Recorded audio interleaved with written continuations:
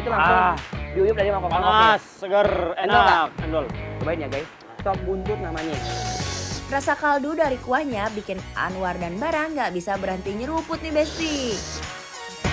Kuahnya tuh segar banget, gurih. Gurihnya itu dari seperti Anwar bilang dari kaldu kaldu-kaldu dagingnya itu lah Bismillahirrahmanirrahim.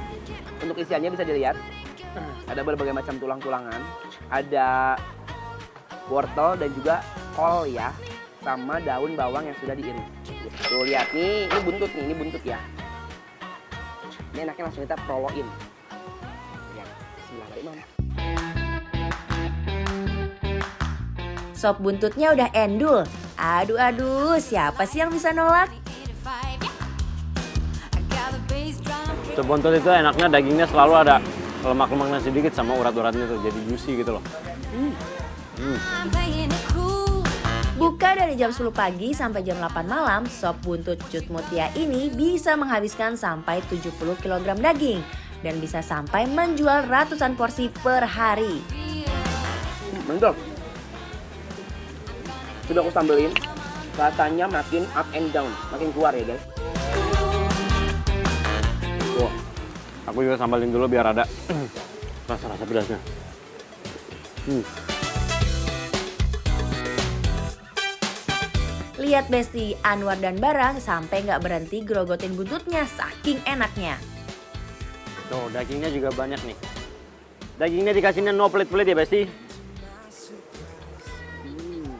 Dia punya tomat, rasa asam-asamnya sedikit ya, tomat yang fresh. Jadi bener-bener kayak sopnya itu seperti sop masak rumahan ya. Wortel, Betul. Kol. kol, daun bawang, tomat, udah sama iga-iga dan juga perbuntutan.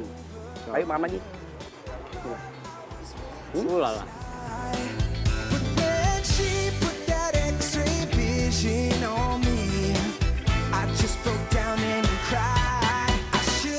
Untuk buntut bakarnya, sebelum dibakar, kita mandikan dulu dengan bumbunya yang manis dan gurih sampai merata.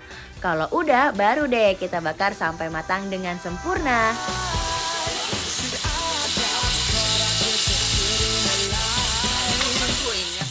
Sesekali daging buntutnya diolesin lagi dengan bumbunya ya Besti, biar rasanya makin meresap.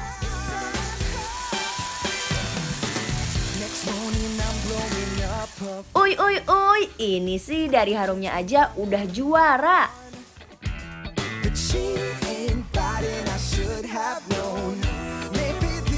Sekarang kita ada iga bakarnya nih. Ada di iga bakar. Buntut bakar tuh. Bakar ya? Jadi buntut bakar, ntar kuahnya dari sini. Ya, cobain dulu. Coba dulu dagingnya ya. Iya, mari, Mam. Hmm. Endol. Dia punya rasa manis karena kecap.